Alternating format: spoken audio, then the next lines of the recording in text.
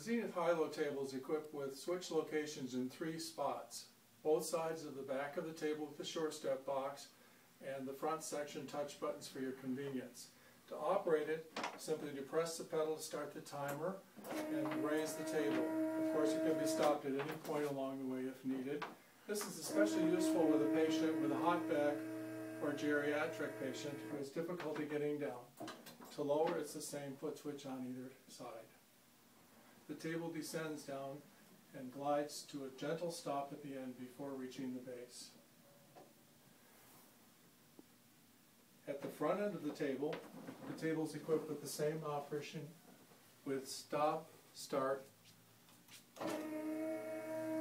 buttons on the end, so it's very convenient for the table to be used on the high-low or on the ground flat.